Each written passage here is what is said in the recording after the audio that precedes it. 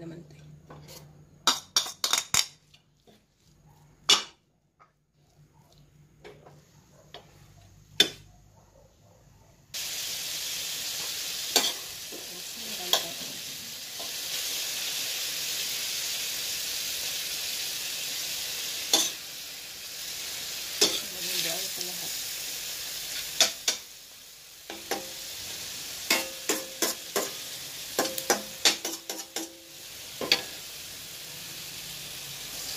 Maul na siya guys. Ang gagawin ko, tanggalan ko siya ng oil. Madaming oil. Bago natin siya tanggalan, make sure na yun. Luto na yung ating beef.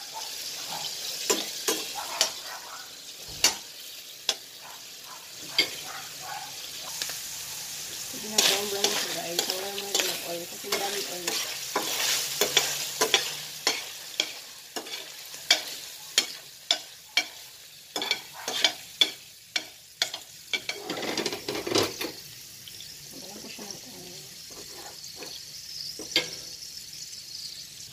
Hindi ko nilahat pagtanggal yung oil kasi magsusutay pa tayo ng chili and garlic. We're not gonna remove that one.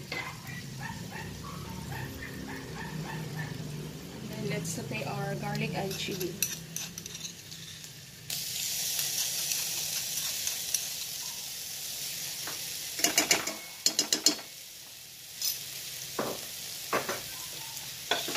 Okay, tampi.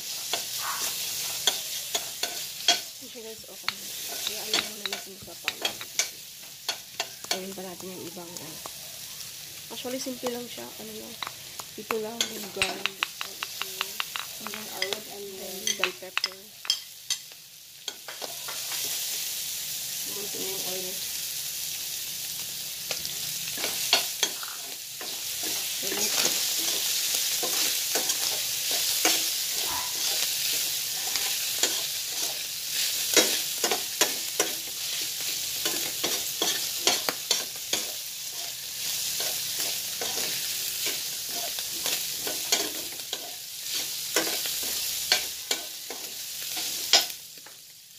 tayo ito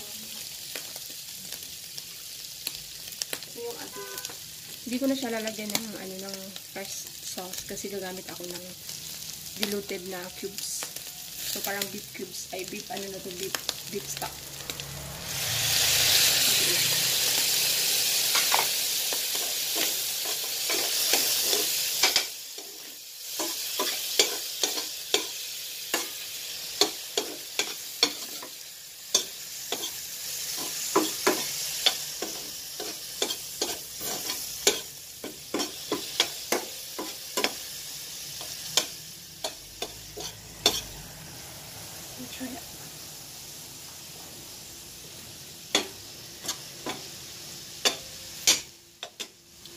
Hindi siya ganun kaalat guys. So maglagay tayo ng konting fresh sauce.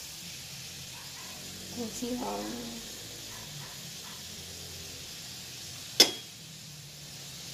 and then our pepper.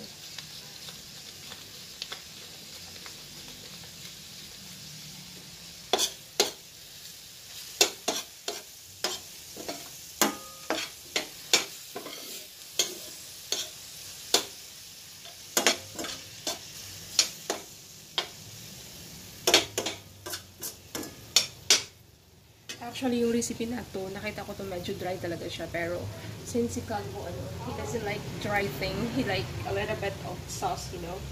Then, what I'm gonna do is, there's a little bit of sauce there already. So, I'm just gonna add a little bit of the salt. Cornstarch. Para magtikin lang siya a little bit. Not a lot, guys. So, I might just add a little bit of beef stock pa.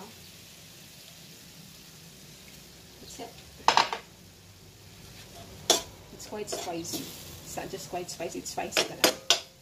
Uh, and then, we're gonna add our, what is it? Cornstarch. Just one. Just to make it, just to make it.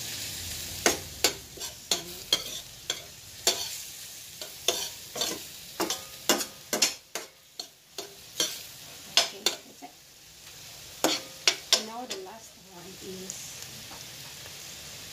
or ano? Basta one or or pepper. Bell pepper.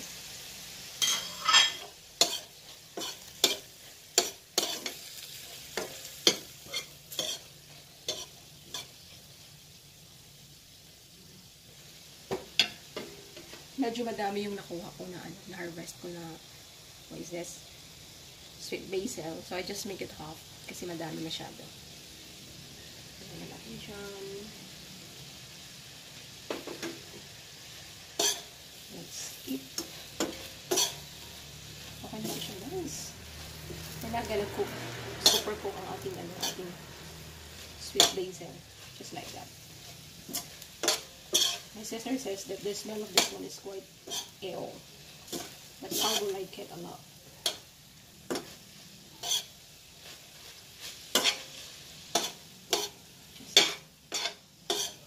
Just, it's not a lot. I might put it all na lang.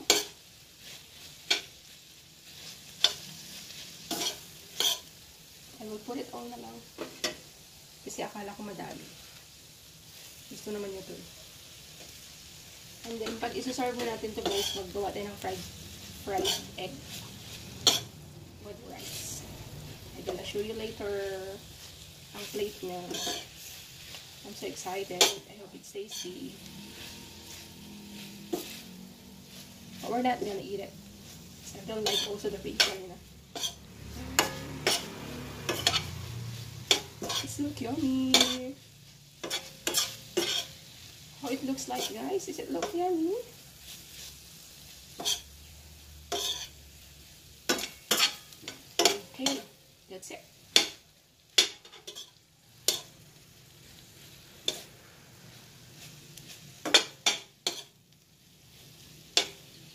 Let's cover it first because we're gonna make the egg.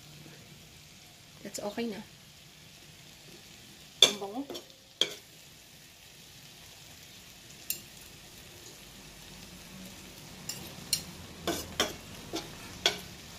Iba konti lang siya.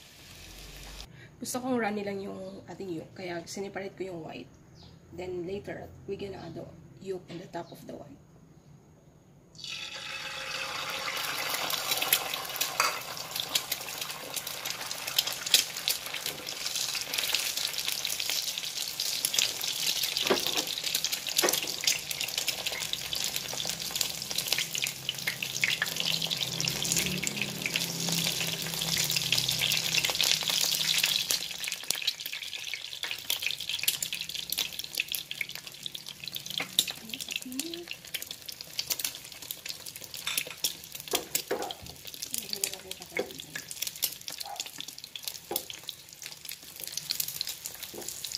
Para mamis magigit. And then crunchy yung ating bacon. Tapos lumat na para para yung oil hindi kasama. Ayan na po yung ating beef spicy with basil, sweet basil. Ayan guys. I hope Carl will like it.